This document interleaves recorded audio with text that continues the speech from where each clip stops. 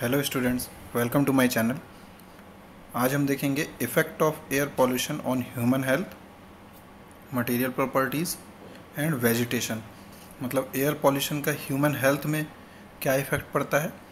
Materials पे क्या effect पड़ता है और वेजिटेशन पे क्या इफ़ेक्ट पड़ता है? सो so, एक एक करके देखते हैं। सो फ़र्स्ट पॉइंट है अपना effect of air pollution on human health वैसे ये ह्यूमन हेल्थ वाला टॉपिक हम पहले ही कवर कर चुके हैं, जिसमें मैंने एक एक करके सभी कंपोनेंट्स के एस्पेक्ट्स बताए थे कि क्या क्या इफ़ेक्ट पड़ सकता है ह्यूमन हेल्थ पे। तो फिर से उसको एक बार देख लेते हैं। Exposure to carbon dioxide carbon monoxide for several hours can cause collapse coma and even death मतलब अगर कार्बन डाइऑक्साइड या कार्बन मोनोऑक्साइड जहाँ पे है, वहाँ पे आप अगर लंबे समय के लिए अगर रहते हो, ज़्यादा देर के लिए अगर आप रहते हो तो आप कोलैप्स कर सकती है आपकी बॉडी आप कोमा में जा सकते हो इवन डेथ भी हो सकती है। It also cause headaches drowsiness dizziness and nausea तो इससे हेडेक हो सकता है आपका मतलब सर में दर्द भी हो सकता है, या जी घबराना टाइप से चक्कर आना, है ना, ये सब चीज़ें हो सकती हैं। And carbon monoxide in heavy traffic causes headache drowsiness blurred vision तो हेड एक है ड्रॉजीनेस और ये ब्लड विजन मतलब धुंधला दिखना, ये सब चीज़ें हो सकती हैं और अगर लार्ज डोज हो जाएगी तो इवन डेथ भी हो सकती है कार्बन मोनोऑक्साइड की। ठीक है? अगर लार्ज डोज हो जाएगी कार्बन मोनोऑक्साइड की तो इवन डेथ भी हो सकती है। Then sulphur dioxide irritates the respiratory tissue cause bronchitis तो जो रेस्पिरेटरी टिशू हैं हमारे, जो श्वसन तंत्र है बेसिकली तो उनमें आपका मीन्स इरिटेशन कर सकता है मीन्स उस नली को फुला सकता है, जिससे कि ब्रोंकाइटिस जैसी बीमारी भी हो सकती है। एंड अगर हम नाइट्रोजन डाइऑक्साइड की बात करें तो नाइट्रोजन डाइऑक्साइड हमारे लंग्स में इन्फेक्ट कर सकता है अस्थमा जिससे हो सकता है है ना? और रेस्पिरेटरी इन्फेक्शन हो सकता है, ठीक है? तो नाइट्रोजन डाइऑक्साइड से भी आपका रेस्पिरेटरी इन्फेक्शन हो सकता है सल्फ़र डाइऑक्साइड से भी हो सकता है। और कार्बन मोनोऑक्साइड से आपका क्या है? हेडेक होएगा ड्रॉजीनेस होएगा और नोजिया ये सब चीज़ें हैं। ओके नेक्स्ट है सस्पेंडेड पार्टिकल तो सस्पेंडेड पार्टिकल आपका क्या कर सकता है? एग्रेवेट रेस्पिरेटरी ट्रैक्ट तो आपके श्वसन तंत्र जो भी आपका रेस्पिरेटरी ट्रैक्ट है तो उसको प्रॉब्लम कर सकता है। इससे भी ब्रोंकाइस ब्रोंकाइटिस या अस्थमा होने का खतरा रहता है। और अगर ज़्यादा टाइम के लिए आप सस्पेंडेड पार्टिकल में मीन्स एक्सपोज होते हो तो आपको कैंसर होने के चांसेस बढ़ जाएँगे। नेक्स्ट है many volatile organic compound that is benzene and formaldehyde and toxic particulates जैसे कि लेड एल्यूमिनियम एक lead cadmium can cause mutation reproductive problem और कैंसर तो जो आपके वोलेटाइल ऑर्गेनिक कंपाउंड हैं, अगर आप इनमें आते हैं या कुछ पर्टिकुलर हैं, जैसे कि लेड या कैडमियम अगर इनके एक्सपोज़र में आप आते हैं तो आपका रिप्रोडक्टिव सिस्टम या कैंसर जैसी बीमारी हो सकती है।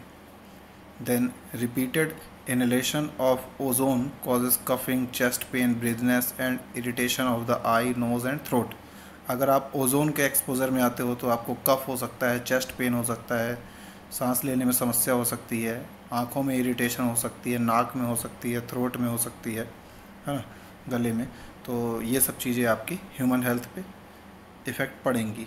अगर आप एयर पॉल्यूशन में कंटिन्यू कंटिन्यू आप अगर उसके एक्सपोज़र में आते हो तो। नेक्स्ट है affect of air pollution on materials तो मटेरियल पे क्या इफ़ेक्ट पड़ता है? The damage due to air pollution on material is really a serious concern since the service life of building is remarkably reduced तो जो air pollution से material जो हमारे डिग्रेड होते हैं तो ये एक सीरियस कंसर्न है है ना?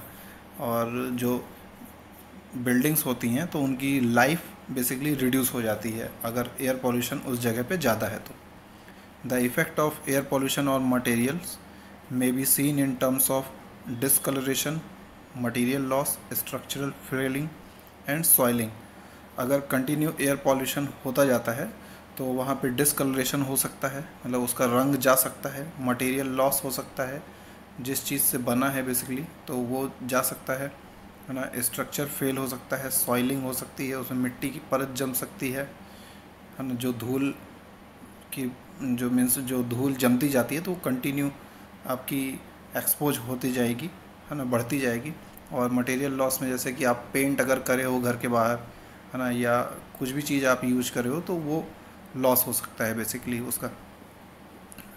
तो यहाँ पे क्या है next both discolouration and structural failing due to air pollution on buildings may be insignificant and they and that may not involve huge cost है ना? अगर जैसे डिसकलरेशन होता है मतलब अगर उसका कलर जाता है या स्ट्रक्चर फेल होता है, थोड़ा क्रैक वगैरह आ जाता है या जैसा भी, है ना पॉल्यूशन के थ्रू तो ये एक्चुअली उतना ज़्यादा प्रॉब्लमेटिक नहीं है। उससे इतना ज़्यादा प्रॉब्लम नहीं हो सकता। But the effect of corrosion due to acidic deposition cost a lot अगर आपका एसिडिक डिपोजिशन हो जाता है किसी जगह पे मतलब कंटिन्यू अगर उस पर एसिड पड़ता जाएगा किसी एक चीज़ पे तो वो आपका कॉस्ट बढ़ा देगा। फिर आप उसका मीन्स रिपेयरिंग करोगे तो उसमें कॉस्ट आपकी ज़्यादा आएगी अगर एसिड डिपोजिशन होता है। जैसे कि मीन्स बिल्डिंग्स होती हैं, अगर कंटिन्यू बारिश होती जाती है, आप उसकी अगर मरम्मत नहीं करवाओगे तो लॉन्ग टर्म पे वो उसके गिरने के चांसेस ज़्यादा रहेंगे।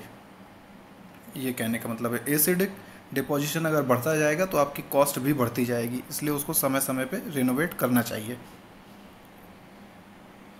नेक्स्ट क्या है? Air pollutants break down the exterior exterior paints on cars and houses तो अगर एयर पॉलिटेंट कंटिन्यू आते जाते हैं तो हमारे जो कार का पेंट है, वो भी जा सकता है। और जो घरों में जो पेंट होता है, बाहर पे तो वो भी जा सकता है। है ना? Discoloured monument historic building marble statue and other heritage and natural beauty sites तो ये जो आपका मॉन्यूमेंट है तो इसका डिसकलरेशन हो सकता है। जो भी मॉन्यूमेंट मतलब जैसे ताजमहल ही आप ले लीजिए तो उसका कलर बेसिकली जब वो बना होगा तब से लेके आज तक में अगर आप फ़ोटो में कंपेयर करोगे तो बहुत ज़्यादा उसमें इफ़ेक्ट आया है। ये क्यों आए हैं? सिर्फ़ और सिर्फ़ एसिड एसिड रेन की वजह से। ठीक है, जितनी भी हिस्टोरिक बिल्डिंग है, जो पुरानी, पुराने भवन हैं तो उनकी मरम्मत अब हर साल होती रहती है। वो इस वजह से क्योंकि एसिड रेन से एसिड डिपोजिशन वहाँ पे बहुत ज़्यादा हो जाता है। मार्बल स्टेचू जैसे जो स्टेचू वगैरह होते हैं तो उनमें भी ये प्रॉब्लम आती है है ना? और जो भी आपका ब्यूटी साइट्स हैं नेचुरल या जैसा भी तो इन सब जगहों पे आपका एयर पॉल्यूटेंट से बहुत नुकसान होता है। ओके तो ये हैं कुछ main agent of air pollution और इससे कौन कौन से मेटल अफेक्टेड होते हैं और किस तरह का डैमेज होता है। तो अगर हम एस की बात करें तो इससे मेटल्स हमारे ज़्यादा इफ़ेक्ट होते हैं, जैसे कि रस्टिंग आ जाती है, उसमें जंग लग जाता है। और अगर ये एस और एन एसिड या पर्टिकुलेट मैटर की बात करें तो ये टेक्सटाइल मीन्स कपड़ों पे ज़्यादा इफ़ेक्ट करता है। इससे रैशेस आ जाते हैं हमारी बॉडी में और डिफॉर्मेशन हो जाता है कपड़े का, है ना? अगर वो कंटिन्यू एक्सपोजर में आते हैं, फिर SO2 या एस या ओजोन ओ थ्री एंड आपके ये स्टिकी पार्टिकुलर जो चिपक जाते हैं अगर पेंट्स में वो चिपक जाएगा तो उससे क्या होगा? डिसकलरेशन हो जाएगा, उसका कलर चला जाएगा सरफेस उसकी डैमेज हो सकती है, ठीक है? अगर एचएफ आ गया आपका तो उससे क्या होगा? सेरेमिक पे असर पड़ेगा, उसका भी सरफेस स्ट्रक्चर चेंज हो जाएगा। ओजोन अगर आया तो वो आपका रबर पे ज़्यादा इफ़ेक्ट करेगा तो क्या होगा? उससे क्रैक हो जाएगी या रबर आपकी वीक हो जाएगी, है ना? फिर अगर S X and other acidic vapour and sulphur oxide की बात करें तो वो बिल्डिंग मटेरियल्स या स्किल्स एंड पेपर पे ज़्यादा इफ़ेक्ट करेगा। उससे उसका पेंट डैमेज हो सकता है, उसमें जंग आ सकता है डस्ट आ सकती है सरफेस डैमेज हो सकती है, ये सब चीज़ें हो सकती हैं। ओके तो ये मटेरियल जो हैं आपके मीन्स जो पॉल्यूटेंट हैं तो इन इन मटेरियल को अफेक्ट करते हैं और क्या क्या उसके परिणाम हैं, वो ये हैं रस्टिंग है और ये रैशेस ऐसे करके जो बताया मैंने। सो नेक्स्ट है effects of air pollution on plants अगर प्लांट की बात करें तो देखते हैं उसमें क्या होता है। Chronic exposure of leaves to air pollutant can break down the waxy coating अगर हम कंटिन्यू एक्सपोजर में रखते हैं अगर पेड़ों को, अगर पेड़ों में कंटिन्यू एक्सपोजर होता जाता है तो जो उनकी पत्तियों में जो वैक्सिंग वैक्स कोटिंग होती है, जो कि वैक्स कोटिंग पहली बात इसलिए वो रहती है कि अगर आप पानी उसमें ज़्यादा दिन तक नहीं भी डालो तो वो सर्वाइव कर ले जाए। मतलब एक्सेसिव वाटर लॉस अगर हो रहा है तो भी वो उस केस में सर्वाइव कर जाए। तो ये एयर पॉलिटेंट क्या करते हैं? उस वैक्सी कोटिंग को डिस्ट्रॉय करते हैं, ख़राब करते हैं, जिससे कि पत्तियाँ डैमेज हो जाती हैं। है ना? नेक्स्ट क्या है?